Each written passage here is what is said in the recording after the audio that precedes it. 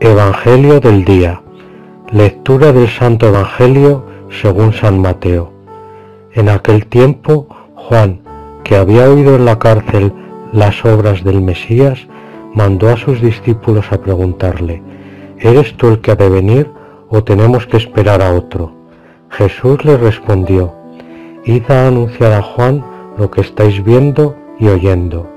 Los ciegos ven y los cojos andan los leprosos quedan limpios y los sordos oyen, los muertos resucitan y los pobres son evangelizados. Y bienaventurado el que no se escandalice de mí. Al irse ellos, Jesús se quedó a hablar con la gente sobre Juan. ¿Qué salisteis a contemplar en el desierto? ¿Una caña sacudida por el viento? ¿O qué salisteis a ver? ¿Un hombre vestido con lujo? Mirad, los que visten con lujo habitan en los palacios. Entonces, ¿a qué salisteis? ¿A ver a un profeta? Sí os digo, y más que profeta. Este es de quien está escrito. Yo envío mi mensajero delante de ti, el cual preparará tu camino ante ti. En verdad os digo que no ha nacido de mujer uno más grande que Juan el Bautista, aunque el más pequeño en el reino de los cielos es más grande que él.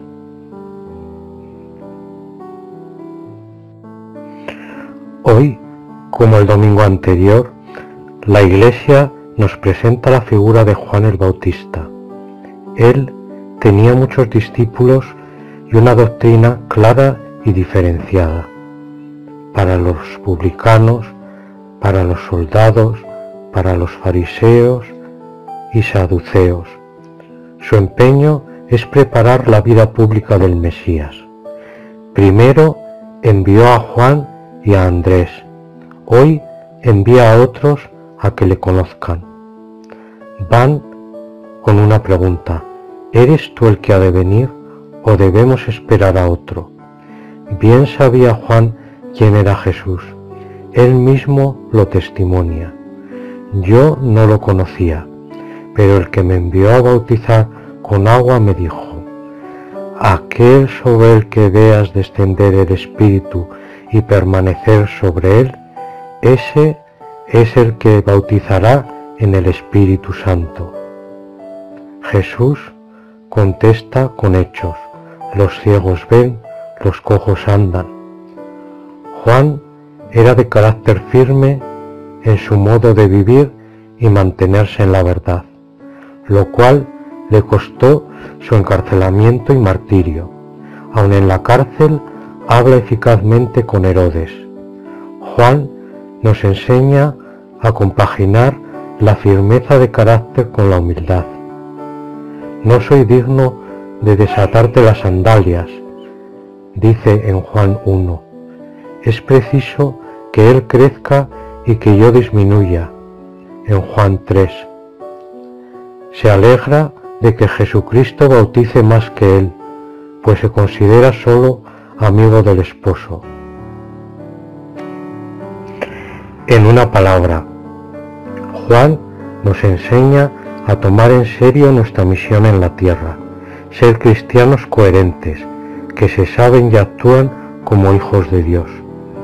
Debemos preguntarnos cómo se prepararían María y José para el nacimiento de Jesucristo, cómo preparó Juan las enseñanzas de Jesús, cómo nos preparamos nosotros para conmemorarlo y para la segunda venida del Señor al final de los tiempos, pues, como decía San Cirilo de Jerusalén, nosotros anunciamos la venida de Cristo, no sólo la primera, sino también la segunda, mucho más gloriosa que aquella, pues aquella estuvo impernada por el sufrimiento, pero la segunda traerá la diadema de la divina gloria.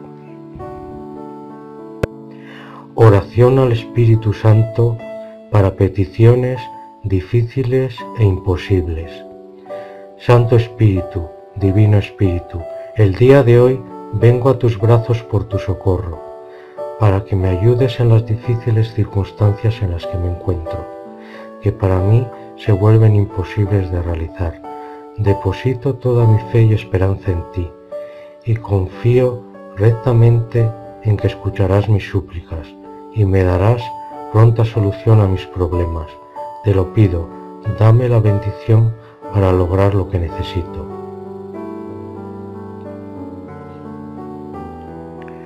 Ven a nosotros, Santo Espíritu, rodéate de nuestra gente, sé su luz, su fortaleza, su consuelo, su defensa impenetrable, protégelos, llena sus corazones de regocijo y calcina los malos sentimientos de su corazón, para que sólo habiten las llamas de tu amor, tu pasión y tu poder de sanación. Dame la ayuda que necesito, bríndame tu mano milagrosa, y así podré alcanzar lo que me proponga, porque tú y el Señor Todopoderoso son uno, en el nombre del Padre, del Hijo y del Espíritu Santo. Amén.